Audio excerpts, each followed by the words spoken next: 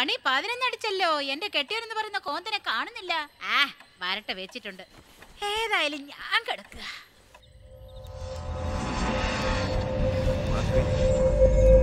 മാധവി. ആ. മണി പതിനൊന്നായി. കിടക്കുന്നില്ലേ? നിക്ക് ഒരു മിനിറ്റ്. ഞാൻ ഈ മെയിൽ ഒന്ന് അയച്ചിട്ട് വരാം. ശരി വേഗം വാ. വിവരം കിട്ട മനുഷ്യൻ. കണ്ടിടത്തൊക്കെ ചുറ്റി നടന്നിട്ട് കിടക്കുന്ന സമയം കണ്ടില്ലേ?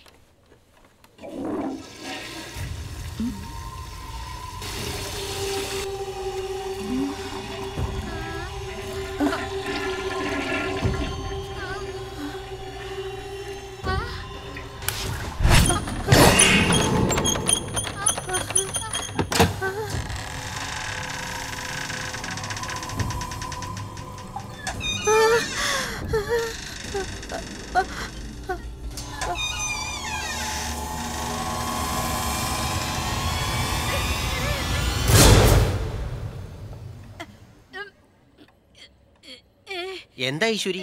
നിന്റെ മുഖം വല്ലാതിരിക്കുന്നേ? നിങ്ങൾ എപ്പോഴാ ബാത്റൂമിൽ പോയത്? അയ്യോ വയറ് സുഖമില്ലാത്തതുകൊണ്ട് അരമണിക്കൂറായിട്ട് ഞാൻ ബാത്റൂമിൽ തന്നെയായിരുന്നു. അരമണിക്കൂറായിട്ടോ? അപ്പോ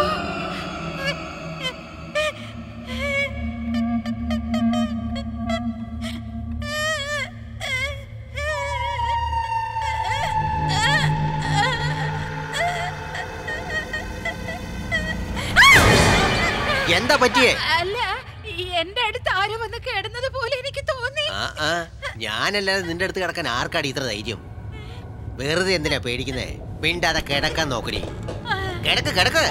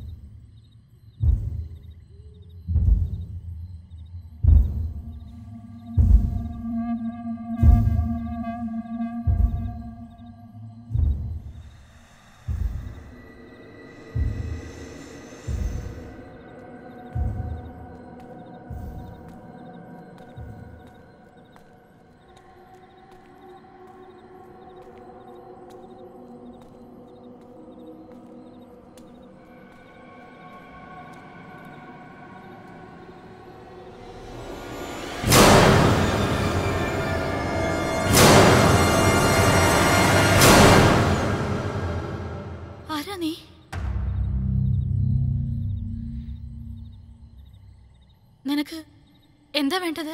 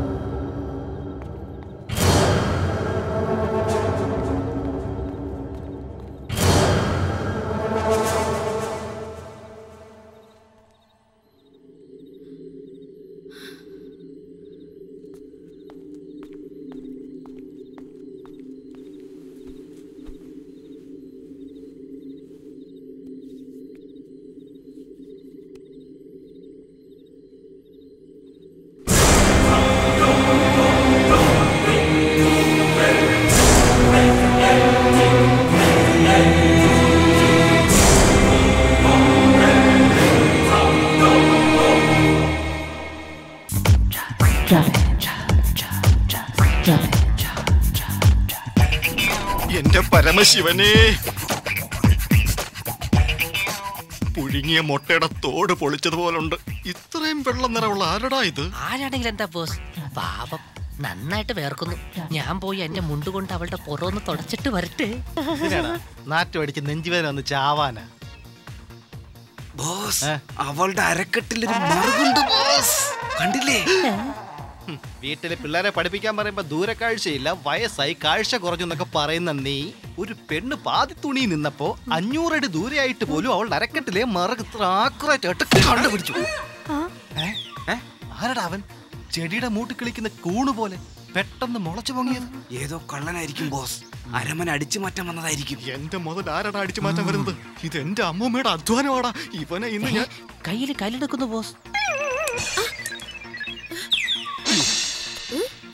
ആരാ അത്?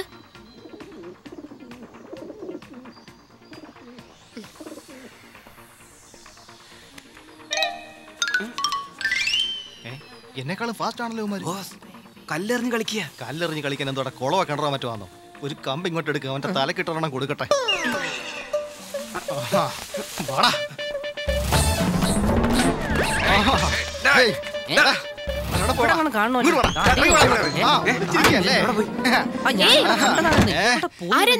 ഫോട്ടോ എടുക്കാൻ വന്നതാ. അതെ. ഫോട്ടോയോ? വൃത്തികെട്ടവന്മാര് കാണിച്ചു തരാം നിങ്ങൾ. എന്താണ് നിങ്ങൾ പറഞ്ഞത്.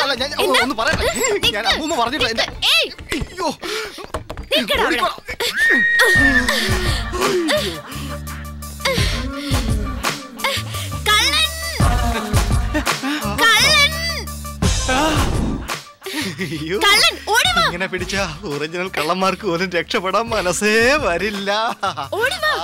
വിടില്ലടാ നിന്നെ നിന്റെ കഥ കള്ളനാണ് വിടല്ലേ വിടരുത്. ശരിക്കും കള്ളന്മാര് ഞങ്ങളാ. ഞങ്ങൾക്ക് അപ്രൂവൽ കിട്ടിയതാ. അല്ലല്ല ഞാനാ ബോസ്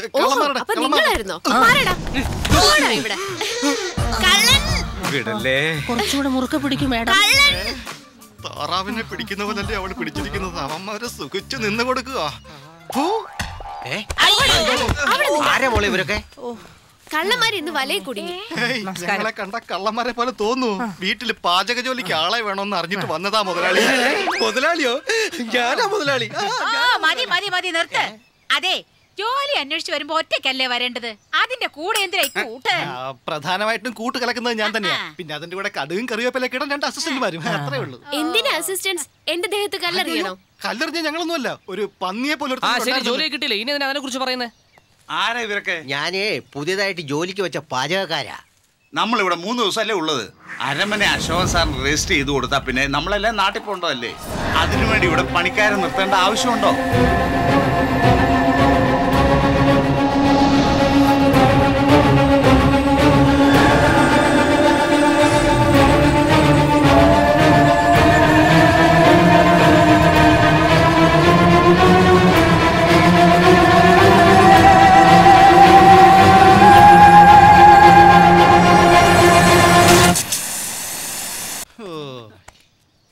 മനസ്സിലായില്ലടാ.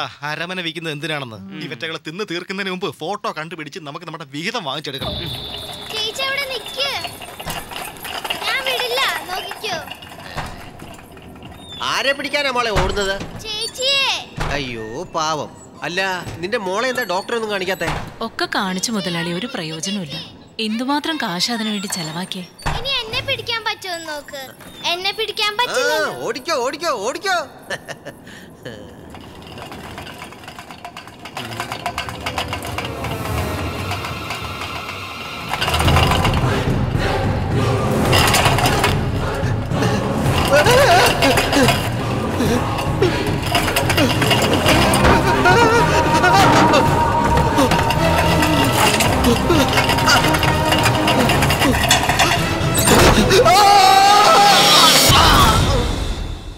വലിയ മുറിവാണോ? ഇപ്പൊ എങ്ങനെയുണ്ട് ഡോക്ടർ നോക്കുന്നുണ്ട്. എന്താ ചേട്ടാ പെട്രോൾ പമ്പിൽ മീറ്റർ നോക്കുന്ന പോലെ സൂക്ഷിച്ച് നോക്കുന്നത്. അത് ശരി. ഇവന്മാരൊക്കെ എന്താ ഇവിടെ? ഉണ്ടായിരുന്ന പാചകക്കാരൻ ഒന്നും പറയാതെ പോയിക്കോ പാചകറിയാന്ന് പറഞ്ഞ് വന്നു. രണ്ടു ദിവസത്തെ കാര്യമല്ലേ. നിക്കട്ടെ എന്ന് ഞാനും കരുതി. മുമ്പത്തെ പോലെ അല്ല. ഇപ്പൊ നല്ലവനാ.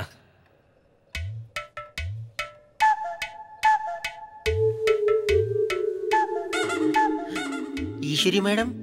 എന്തിനാ എല്ലാരും എന്റെ ചുറ്റും നിൽക്കുന്നേ?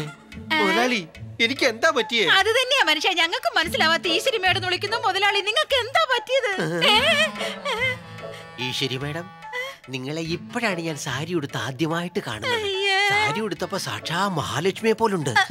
ചൈനീസ് പടത്തിലെ തിരിപ്പം വച്ച വില്ലിയെ പോലൊരു മുഖം. എവളാണ് മഹാലക്ഷ്മി? തലയ്ക്ക് മുറിവേറ്റത് കൊണ്ട് അടുത്ത കാലത്ത് നടന്ന സംഭവങ്ങളൊക്കെ മറന്നിരിക്കുന്നു. സംസാരം കേട്ടിട്ട് അടുത്ത കാലത്തുള്ള കാര്യങ്ങൾ മാത്രമല്ല. മുഴുവൻ കാര്യങ്ങളും മറന്നു ഇരുപത്തഞ്ച് വർഷം പുറകോട്ട് പോയി. കുറച്ചു കാലം കഴിയുമ്പോൾ താനെ ശരിയായിക്കോളും.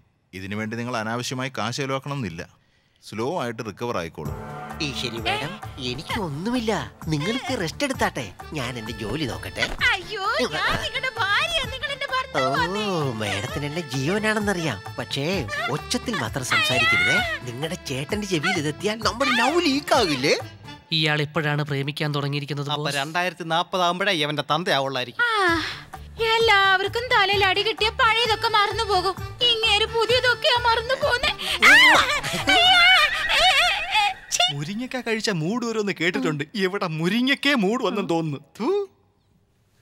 നാളെ രജിസ്ട്രേഷൻ നടത്താനുള്ള എല്ലാ ഏർപ്പാടും ചെയ്തു കഴിഞ്ഞു. അത് കഴിഞ്ഞാലൂടെ നിങ്ങളെ പറഞ്ഞാൽ നിങ്ങളെ നിങ്ങളെ പറ്റി എനിക്ക് അറിയില്ല അശോക് സാറേ. എന്നാ പിന്നെ വിൽപത്രം തന്നാലേ ബാക്കി കാര്യങ്ങളൊക്കെ ഞാൻ ശരിയായിക്കോളാം. മായ നീ ആ ഡോക്യുമെന്റ് എടുത്തോണ്ട് വാ.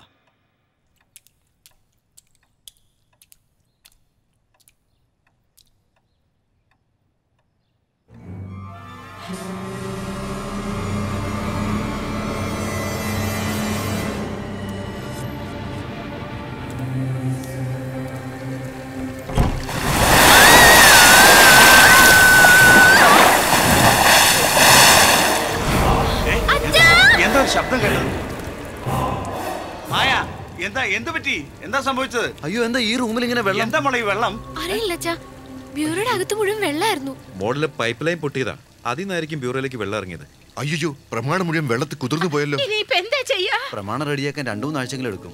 നിങ്ങൾ നാട്ടിൽ പോയിട്ട് വരൂ. അപ്പോഴേക്കും ഞങ്ങൾ റെഡിയാക്കി വെക്കാം. നാട്ടിൽ പോയിട്ട് വരുന്നൊന്നും നടക്കുന്ന കാര്യമല്ല. വേണ്ട. രജിസ്റ്റർ ഓഫീസിൽ എനിക്ക് പരിചയമുള്ള ആൾക്കാരുണ്ട്. നേരിട്ട് പോയ രണ്ടു ദിവസത്തിൽ സംഗതി റെഡിയാക്കാം. വന്ന സ്ഥിതിക്ക് തീർത്തിട്ട് പോകുന്ന നല്ലത്. അതാ നല്ലത്. വാ പോകാം.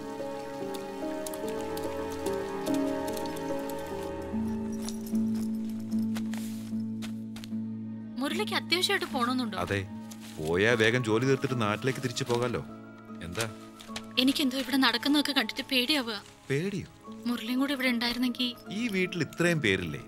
രണ്ട് ദിവസങ്ങളിൽ ഞാൻ വരില്ലേ?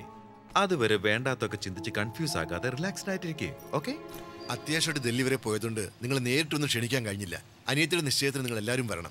തീർച്ചയായും ഞങ്ങൾ കുടുംബസമേതം വന്നിരിക്കും. നിങ്ങൾ രജിസ്ട്രേഷൻ കാര്യമൊക്കെ നോക്കാം. ഇറങ്ങാല്ലേ? പോവാം.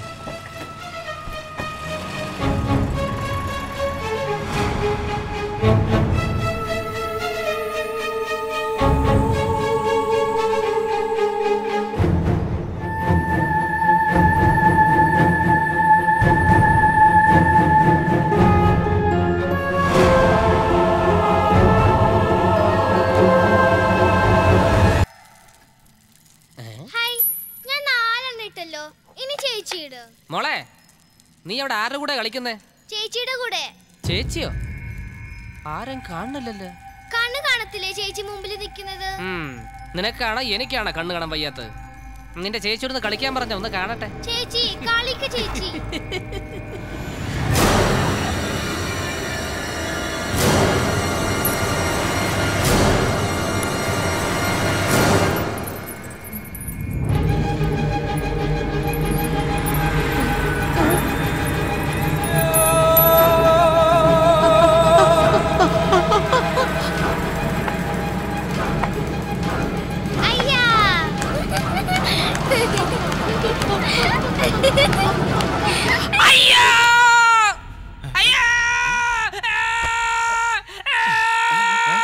എന്താടാ പഴയ ബ്ലേഡ് കൊണ്ട് പൈൽസ് ഓപ്പറേഷൻ ചെയ്തോ ഇങ്ങനെ നില വിളിച്ചോണ്ട് ഓടുന്നത്? എന്താ പറ്റിയത്? നമ്മുടെ പയ്യനാ. ഓട്ട കണ്ടാലേ ഇവൻ ഹോന്ന് നില വിളിക്കും ഇത്രയും വലിയ കൊട്ടാരം കണ്ടതല്ലേ അതിന്റെയാ?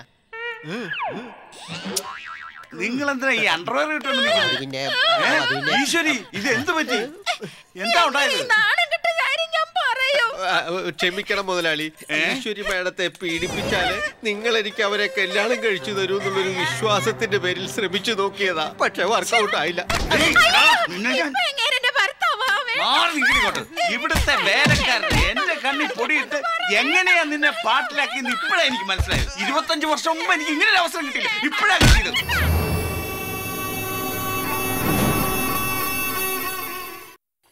രുക്മിണി എന്താ? ഇവിടെ എന്തൊക്കെയോ കുഴപ്പങ്ങളുണ്ട്. അതിന്? നിനക്ക് പേടിയുണ്ടെങ്കിൽ പറ.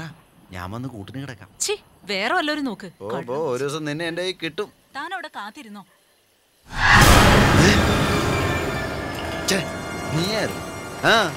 ചേച്ചി നിങ്ങളോട് വരാൻ പറഞ്ഞു. ചേച്ചിയാണോ അമ്മയാണോ? ചേച്ചിയാ. പാട്ട് പെണ്ണ്. അമ്മയെ അമ്മയായി ചേച്ചി എന്ന് പറയുന്നത്. ആരല്ല നമുക്ക് കാര്യം നടക്കും.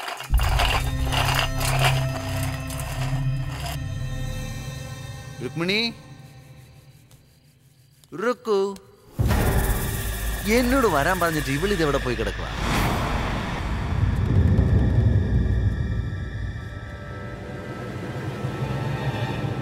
എന്നെക്കാളും തിരക്കായോ നിനക്ക്?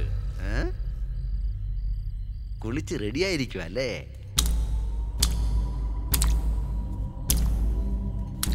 റുക്കു റുക്കു ഒളിച്ചിരുന്ന കണ്ടുപിടിക്കില്ലെന്ന് വിചാരിച്ചു എന്റെ അടുത്താ നിന്റെ കളി.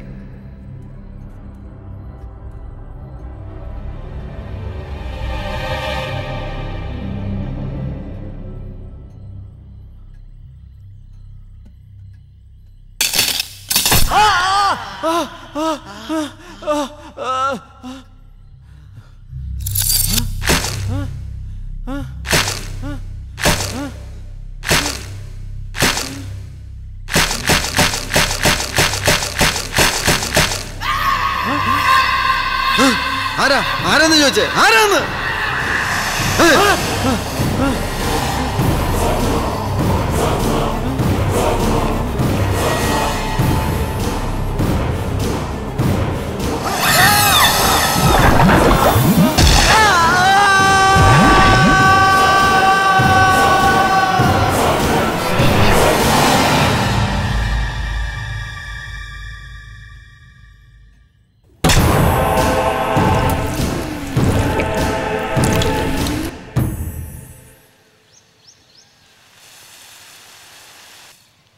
സ്വാമിനാഥ? സ്വാമിനാഥ? ഓ ഇവൻ ഇത് എവിടെ പോയി കിടക്കുക? രാജട്ടാ ആ ഡ്രൈവർ എവിടെ പോയി? അവനെ ആയി തേടിക്കൊണ്ടിരിക്കുന്നത് എവിടെ പോയി എന്ന് എനിക്കറിയാൻ പാടില്ല. ഇതാ ഞാൻ അങ്ങുന്നനോട് പറഞ്ഞത്. കള്ളൂടിമാരൊന്നും ജോലിക്ക് വെക്കരുതെന്ന്. കുടിച്ചിട്ട് എവിടെയും കിടക്കുന്നുണ്ടാവും. അവൻ വരുമ്പോഴേക്കും ദേവി അമ്പലത്തിൽ നിന്ന് പോയിട്ടുണ്ടാവും മോളെ. നീ വേഗം പുറപ്പെടാൻ നോക്കും. അപ്പൊ അച്ഛൻ വരുന്നില്ലേ? ഇല്ല മോളെ എനിക്ക് ടൗണിൽ അല്പം ജോലിയുണ്ട്. അത് തീർത്തിട്ട് വരാം. അമ്പലത്തേക്ക് ഞാൻ ഫോൺ ചെയ്തിട്ടുണ്ട്. എല്ലാവരും നോക്കിക്കോളും മോളെ. ഉത്സവത്തിന്റെ ഐതിഹ്യം വരുന്ന വെള്ളിയാഴ്ച മഹാശിവരാത്രിയുടെ അന്ന് സൂര്യൻ ഉദിക്കുന്ന സമയത്ത് തന്നെ ഗ്രഹണം തുടങ്ങുക. അത് വല്ലാത്ത ദുശകുന. നൂറ്റമ്പത് വർഷത്തിന് ശേഷം മഹാശിവരാത്രിയുടെ അന്ന് പ്രദോഷത്തിൽ ഈ സൂര്യഗ്രഹണം നടക്കുന്നത് കൊണ്ട് ഭഗവതിക്ക് തന്നെ ദോഷമാണത്രേ. അതുകൊണ്ട് ഈ നാട്ടിൽ വൻ ദുരന്തം വരാൻ സാധ്യതയുണ്ടെന്നും പറഞ്ഞ് ഇവിടെയുള്ള എല്ലാ ഭഗവതി പ്രതിഷ്ഠകളെയും അലങ്കരിച്ച് സൂര്യഗ്രഹണത്തിന്റെ സമയത്ത് ത്രിവേണി സംഗമത്തിൽ ആറ്റിലിറക്കും. ഇങ്ങനെയൊക്കെ ചെയ്താലേ ദോഷം മാറുകയുള്ളൂ എന്നൊരു ഐതിഹ്യം. ഇന്നാണ് നമ്മുടെ ദേവിയുടെ എഴുന്നള്ളത്ത്.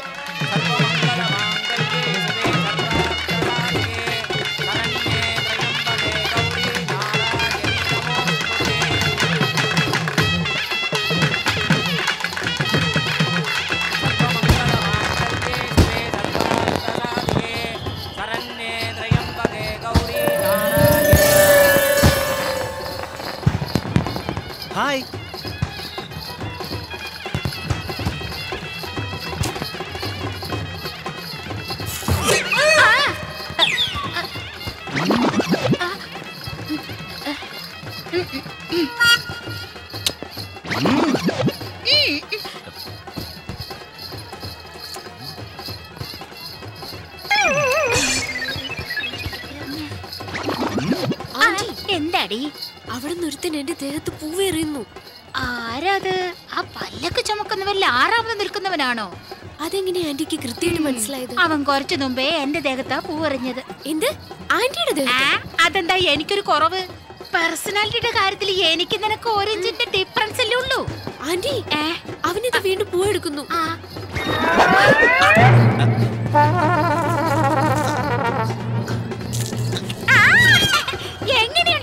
ഭർത്താവ് മോനെ ഉത്സവത്തിന് വന്നാലേ പല്ലക്ക് ചുമന്നിട്ട് ദർശനം നടത്തി തിരിച്ച് വീട്ടിലെത്താനുള്ള വഴി നോക്കടാ. അല്ലാതെ പെണ്ണുങ്ങളുടെ മേത്ത് ഇങ്ങനെ പൂവെറിഞ്ഞ് കളിക്കരുത്. അതൊക്കെ പറയാൻ താനാരാ? ആ നമുക്ക് സ്ഥലം വിടമ്പാ അവളുടെ ബോയ് ഫ്രണ്ടാ ഇതാ പെണ്ണിനറിയോ? ഇപ്പോഴാ ലൈൻ വലിച്ചു തുടങ്ങിയത്. ആ ലൈൻ ഒന്ന് ക്ലിയർ ആയി കിട്ടാൻ കുറച്ചൊക്കെ സമയമെടുക്കും. ജീപ്പുമായിട്ട് ചേട്ടൻ ഇവിടെ വരാന്നല്ലേ പറഞ്ഞത്? കാണുന്നില്ലല്ലോ. അയ്യോ. ആന്റി ആ ബാക്കിലേക്ക് ഒന്ന് നോക്ക്. കൊഴുപ്പ് കുറച്ച് കൂടുതലാ. അയ്യോ ആന്റി പുറകിലേക്ക് നോക്കാൻ. അയ്യോ ഇവനെന്തിനാ നമ്മുടെ പിന്നാലെ ഇങ്ങനെ ചുറ്റി